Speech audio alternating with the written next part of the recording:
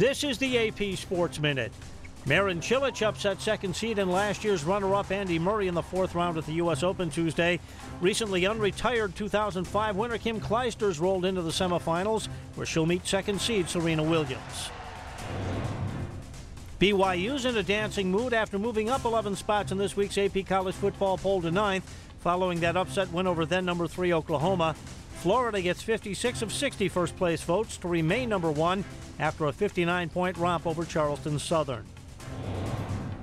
Oklahoma junior tight end Jermaine Gresham has had surgery for a torn cartilage in his left knee and is done for the season. The second team All American suffered that injury in Saturday's loss to BYU. The Pirates honored golfing great Arnold Palmer's 80th birthday before Tuesday's game.